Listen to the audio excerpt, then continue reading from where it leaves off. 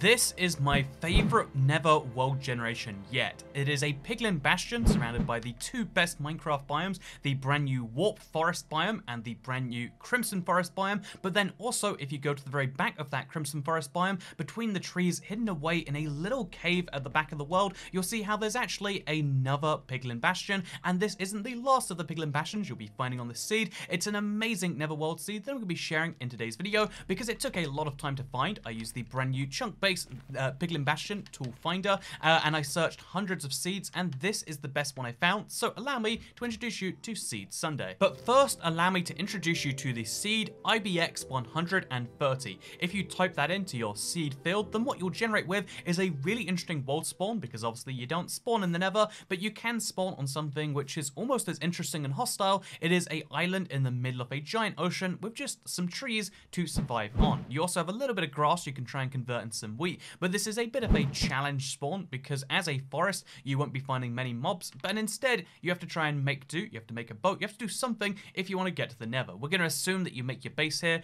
or that you, and you know, you try to live that kind of life, because if you do go to the nether right here, or if better yet, you head to the mainland in this direction, because there are many great things that can be found around the spawn, such as this island right here, found at the coordinates. You can see in the top left, where there's rabbits, there's pumpkins, and there's bees, as well as a flower forest, so you can get those rare flowers that would otherwise be lacking on a survival island. Again, you've got many options uh, you can check out, but let's assume that you managed to go to the Nether on this little bit of a challenge. Let's assume you go to the Nether from your starting island, because again, I really like the idea of having this be your spawn because of the uh, fact that even if you are successful, you can kind of exile new players to this island, remove the trees, and lock them down there till you want to deal with them. But once you go to the Nether from here, from pretty much any point on the island, you'll get roughly the same Nether spawn in this Crimson Forest, but it's not the Crimson Forest that I'd recommend settling down in. I mean, it's sure, it's a nice biome. It's the best of the Nether biomes, uh, many would say. Um, but anyway, hello, I'm IBX Welcome back to Seed Sunday, the weekly series where I show you seeds for Minecraft, which are particularly interesting and worth checking out in some way.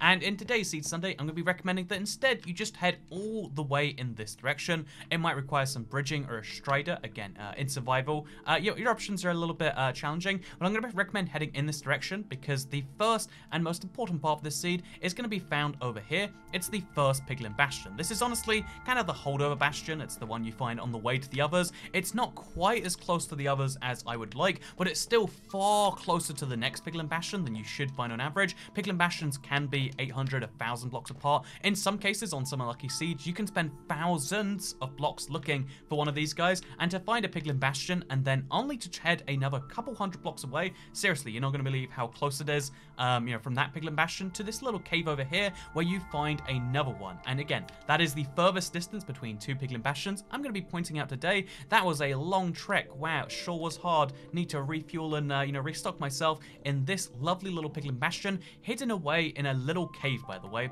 That's the thing I love about this Bastion. If you don't know it's there, and if you really want to hide it, you can do so more. If you don't know it's there, it's really hard to find because there only are these entrances in and out, which are super low down and pretty hideable if you want to. Again, doesn't take much Netherrack to hide this entrance, doesn't take much Netherrack to hide that entrance, and then to leave you with just this one entrance into the Crimson Forest, a delightful looking biome, and that is a really great thing by itself. Again, we'll ignore for now the fact that there's so many benefits of being over here, such as, you know, all these chests you have access to, the piglins you can trade with, all that wonderful stuff. We'll just say, oh yeah, it's a big bastion, you know what to do with it, you know all the gilded uh, blackstone you can get your hands on, which is incredibly rare. So um, let's head through this forest, and let's talk about the cream de crop of this, what, what is the phrase? Cream de, cream of the crop?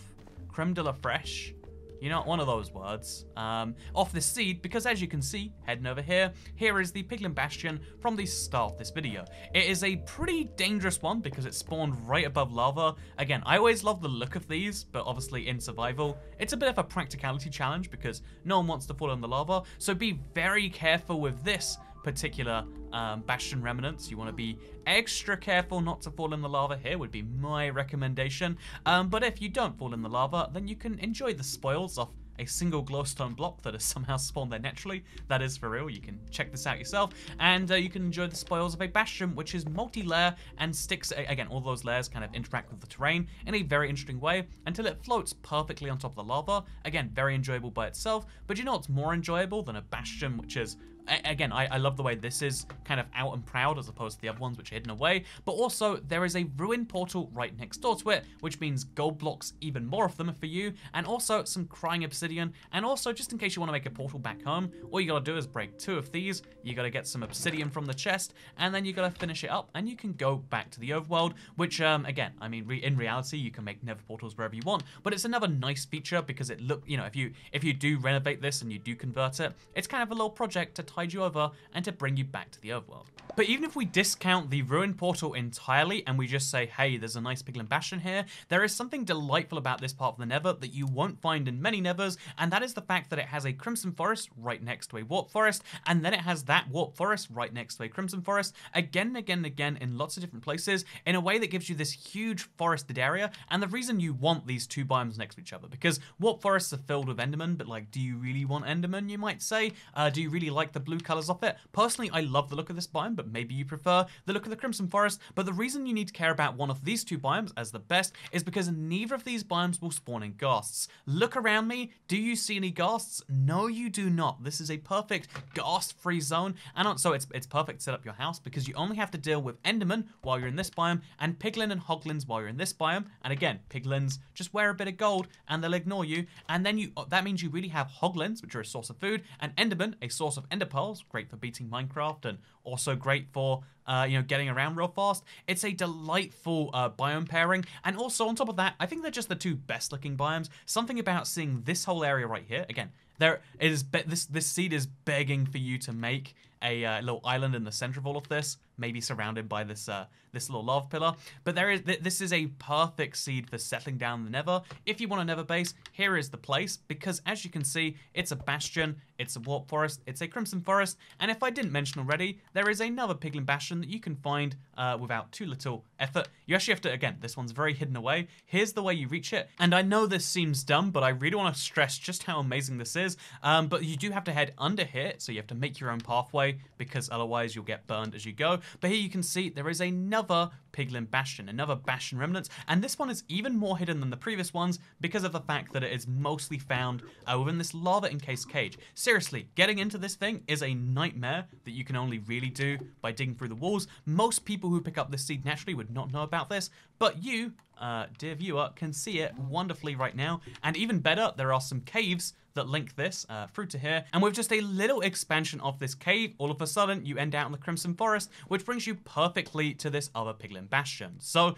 that is really cool. Three Piglin Bastions in a triangle of each other, only 150-ish blocks away, is kind of wonderful. But in case you don't care about that third one because it's so exposed, and you kind of like the ones that have nice easy to access floors, then something else you could just totally give a whirl is uh, making a tunnel right through here. So I dug an 80 block long tunnel. It's two blocks high, two blocks wide, it's three blocks high and three block wide actually. But as you can see, we dug this tunnel and with just a singular tunnel, which we could put a blue ice boat in or anything like that, just in case 80 blocks is too far to walk, we can end up in the second Piglin Bastion. Isn't that delightful? Uh, in reality, I think the benefits of having more than one Piglin Bastion, besides the Gilded Blackstone and the other Blackstone benefits, are somewhat limited, but in reality, I think most people would just find it cool regardless. And to have this, again, be mostly located in the two best Minecraft biomes, that is an absolute win as far as I, am concerned. And that is why this seed and uh, all of the wonderful, uh, wonderful benefits come along with it are something I'm going to be recommending for all of you. If you want a great Nether seed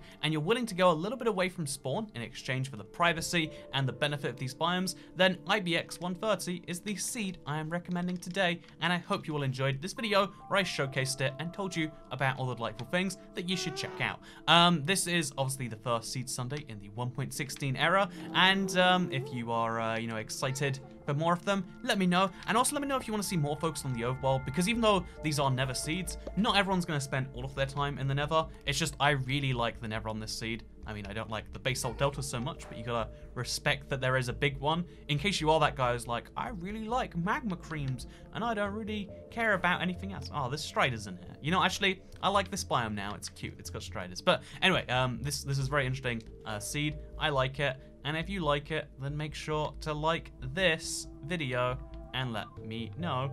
You can also share it if you really liked it, and you can turn on that notification bell because you know if, you'll see more of my videos and as a youtuber i want you to do that um, so yeah join join the club get subscribed and i'll see you in the next one.